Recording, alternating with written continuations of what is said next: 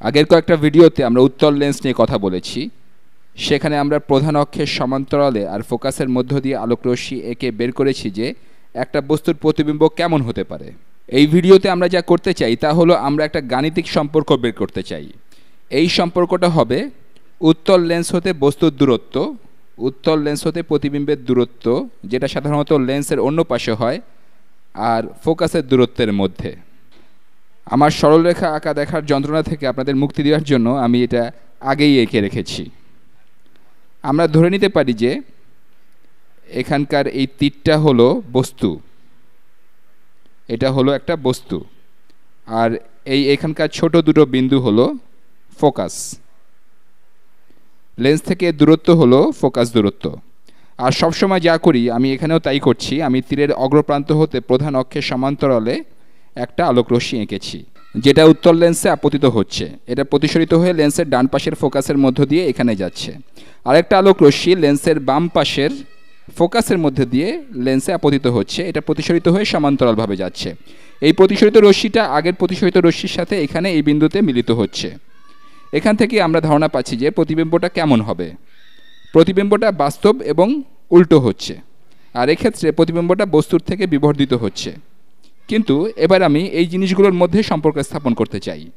আমি এগুলোকে এখানে লেভেল করি।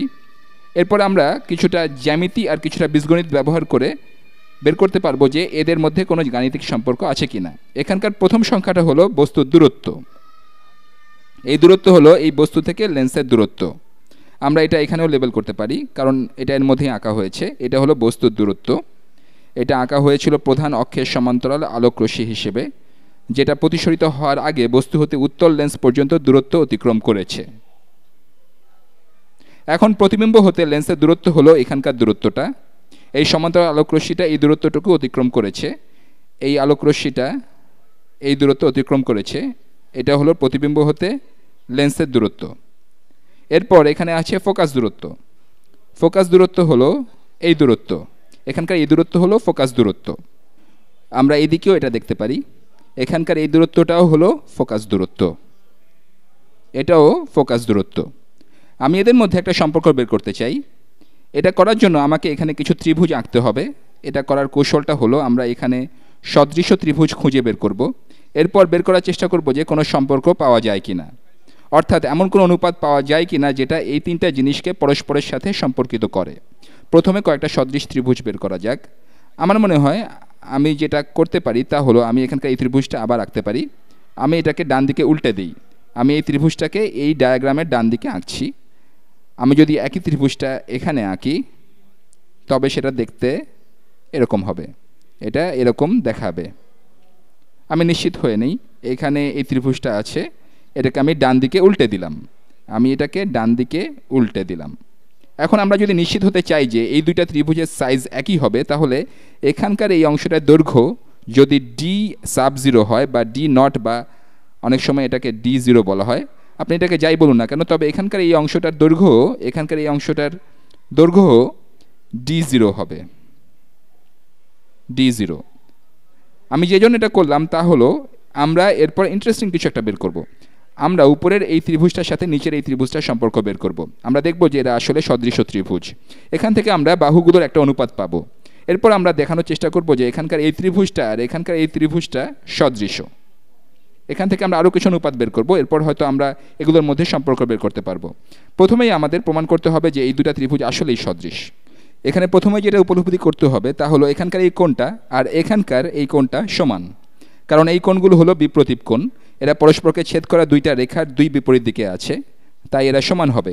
এরপর যে জিনিসটা সামনে আসছে তা হলো এই রেখাটা আর এখানকার এই রেখাটা পরস্পর সমান্তরাল। আমার মনে হয় এখানকার কোণটাকে একান্তর কোণ বলা হয়। আপনি যদি জ্যামিতিতে পরস্পর সমান্তরাল রেখার ছেদক রেখার সাথে উৎপন্ন কোণের কথা চিন্তা করেন, আমরা জানি একান্তর কোণ হওয়ার কারণে এই কোণটার মান সমান হবে এই কোণটার মান। তাই না? আপনি এখানকার এই রেখাটাকে এই দুইটা সমান্তরাল রেখার ছেদক হিসেবে দেখতে পারেন। তাহলে এই দুইটা কোণ হবে একান্তর কোণ, তাই এদের মান সমান হবে। এখন আমরা এই একই যুক্তিতে বলতে পারি যে এই কোণ এই কোণ সমান হবে এই কোণ। তাহলে আমরা দেখছি যে উপরের এই ত্রিভুজটার তিনটা কোণের মান, নিচের এই ত্রিভুজটার তিনটা কোণের সমান। তাহলে এই দুইটা ত্রিভুজ সদৃশ হবে। এখানে অবশ্য অপটিক্সের তুলনায় জ্যামিতি বেশি। এই দুটো ত্রিভুজ সদৃশ বা সিমিলার ট্রায়াঙ্গেল এই দুটো ত্রিভুজ সদৃশ। আর এরা সদৃশ বলে এদের অনুরূপ বাহুগুলোর অনুপাত সমান হবে। তাহলে ডি নটের অনুরূপ বাহু হলো এটা। এরা এই দুটো সমান কোণের বিপরীত বাহু। তাহলে ডি নট আর ডি আই এর অনুপাত আমি উপরে এখানে লিখি। ডি নট আর ডি আই আমি আরেকটু পরিচ্ছন্নভাবে লিখছি ডি নট আর ডিআই এর অনুপাত, এই দুটো হলো দুইটা অনুরূপ বাহুর অনুপাত। এটা সমান হবে, আমি এখানে কিছু লেভেল করি। এই অনুপাত সমান হবে এখানকার এই বাহু, এখানকার এই বাহুটাকে আমি বলছি এ এটা হলো এখানকার এই ম্যাজেন্টা রং দিয়ে চিহ্নিত কোণের বিপরীত বাহু। আগের অনুপাত সমান হবে এই বাহু আর এখানকার এই বাহুর অনুপাত। এই বাহুটা হলো বি এবারও আমরা এটা বের করতে পারলাম, কারণ এই বি বাহু হলো এই ম্যাজেন্টা রঙের কোণের বিপরীত বাহু। এভাবে আমরা বুঝলাম যে এই বাহুটার অনুরূপ বাহু অন্য সদৃশ ত্রিভুজটায় হবে এই বাহুটা। এই বাহু দুটা এই ম্যাজেন্টা রঙের কোণের বিপরীত বাহু। তাহলে ডি নট আর ডিআই এর অনুপাত সমান হবে এ আর বি এর অনুপাত। এটা সমান এ আর বি এর অনুপাত। বিষয়টা ইন্টারেস্টিং কারণ আমরা এই দুইটা জিনিসকে দুইটা অজানা দৈর্ঘ্যের সাথে সম্পর্কিত করতে পারলাম। এই দুটো দৈর্ঘ্যকে ফোকাস দৈর্ঘ্যের সাথে সম্পর্কিত করা যায় কিনা দেখা যাক। এগুলোকে ফোকাস দৈর্ঘ্যের সাথে সম্পর্কিত করতে আমরা এ আর বিকে সম্পর্কিত করি। এ যে ত্রিভুজ আছে, সেখানে ফোকাস দূরত্ব আছে। এবার এখানকার এই ত্রিভুজটার দিকে দেখা যাক।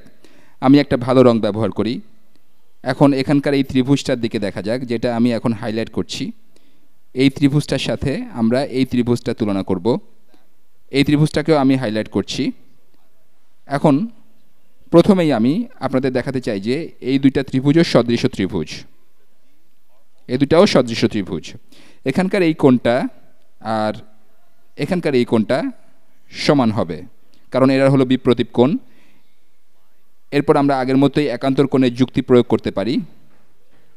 আমরা অন্য যুক্তিও এখানে দেখাতে পারি। আমরা দেখছি যে এই কোণটা হলো সমকোণ, এটাও সমকোণ। যদি দুইটা ত্রিভুজের দুইটা কোণ সমান হয়, তবে এদের তৃতীয় কোণ দুটোও সমান হবে। তাহলে আমরা এটাও বলতে পারি যে, আমি এটা অন্য রং দিয়ে দেখাই। তাহলে আমরা বলতে পারি যে এই কোণ সমান হবে এই কোণ। অথবা আপনি এভাবেও বলতে পারেন যে এখানকার এই রেখাটা যেটা লেন্সটাকে প্রকাশ করছে, যেই রেখাকে লেন্সের বরাবর বা সমান্তরালে আছে, সেটা এই এখানকার এই বিম্বটা সমান্তরাল। এখানে আপনি এবার একান্তর কোণের যুক্তি প্রয়োগ করতে পারেন। অন্য বিষয়টা হলো, যদি দুইটা ত্রিভুজের দুইটা করে কোণ সমান হয়, তবে তৃতীয় কোণ দুটাও সমান হবে। এখন যেহেতু দুইটা ত্রিভুজেরই তিনটা কোণ সমান হচ্ছে, তাই এই দুটোও সদৃশ ত্রিভুজ। তাহলে আমরা একই কাজ করতে পারি। আমরা বলতে পারি এ আর বি এর অনুপাত এ আর বি দুইটাই কিন্তু নাইনটি ডিগ্রি কোণের বিপরীত বাহু। এই দুটোই ত্রিভুজ দুটোর অতিভুজ। তাহলে এ আর বি এর অনুপাত সমান, আমরা বলতে পারি এখানকার এই ভূমির দৈর্ঘ্য, এখানকার এই ভূমির দৈর্ঘ্যটা হলো এফ অর্থাৎ ফোকাস দূরত্ব। এই ত্রিভুজের এফ এই ত্রিভুজের এই ত্রিভুজের এই বাহুর সাথে সম্পর্কিত। এই দুটা বাহুই সাদা রঙের কোণের বিপরীত বাহু। তাহলে এফ এর অনুরূপ বাহু হবে এই বাহু। এখন এর দৈর্ঘ্য কত? এখানকার এই পুরো দূরত্বটা হলো ডিআই তাহলে এই দূরত্ব সমান হবে ডিআই বিয়োগ ফোকাস দূরত্ব। তাহলে এটা হলো ডিআই বিয়োগ ফোকাস দূরত্ব। তাহলে এ আর বি এর অনুপাত সমান হবে এফ আর ডিআই বিয়োগ ফোকাস দূরত্বের অনুপাত। তাহলে আমরা একটা সম্পর্ক পেলাম বস্তুর দূরত্ব, প্রতিবিম্বের দূরত্ব আর ফোকাস দূরত্বের মধ্যে। এবার বীজগণিত করতে হবে, যদি এটা সমান এটা হয় আর এটা সমান এটা হয়, তবে এই নীল জিনিসটা সমান হবে এই ম্যাজেন্টা জিনিসটা। এখন আমাদের কিছু বীজগণিত করতে হবে, সেটা করা যাক। তাহলে আমরা পেলাম ডি নট বা ডি জিরো আর ডিআই এর অনুপাত, এটা সমান হলো ফোকাস দূরত্ব আর প্রতিবিম্বের দূরত্ব বিয়োগ ফোকাস দূরত্বের অনুপাত। বিয়োগ, ফোকাস দূরত্বের অনুপাত। এবার বীজগণিত করতে হবে। এটাকে সিম্পলিফাই করতে বজ্র গুণন করি। তাহলে ডি নট গুণ এখানকার এই জিনিসটা, আমরা পাই ডি নট ডিআই বিয়োগ ডি নট এফ বিয়োগ ডি নট এফ আমি শুধু ডি নট দিয়ে গুণ করছি। বজ্রগুণ করা আর উভয় পক্ষকে উভয় হর দিয়ে গুণ করা অথবা হরকে দুইবার গুণ করা আসলে একই জিনিস। এটা সমান হবে এটা সমান হবে ডিআই গুণ এফ এটা সমান হবে ডিআই গুণ এফ এখন আমরা এখানকার এই টার্মটা এই সমীকরণের উভয় পক্ষে যোগ করতে পারি। আমি অন্য একটা রং নেই। আমরা পাই ডি নট ডিআই সমান হলো, আমি এটাকে উভয় পক্ষে যোগ করছি, তাহলে বাম পক্ষে এটা বাদ হয়ে যাবে। এটা সমান হবে ডিআইএফ এখানকার জিনিসটা যোগ ডি নট এফ এখানে দেখা যাচ্ছে আমরা এফ অর্থাৎ ফোকাস দূরত্ব কমন নিতে পারি। তাহলে আমরা পাচ্ছি ডি নট ডিআই সমান এফ গুণ ডিআই যোগ ডি নট এরপর আমরা কি করতে পারি? আমরা উভয় পক্ষকে এফ দিয়ে ভাগ করতে পারি। তাহলে এখানে এফ দিয়ে ভাগ হবে, এখানেও এফ দিয়ে ভাগ হবে, এখানে তাহলে এফ বাদ হয়ে যাবে। আমি আর খুব বেশি ধাপ লিখতে চাচ্ছি না।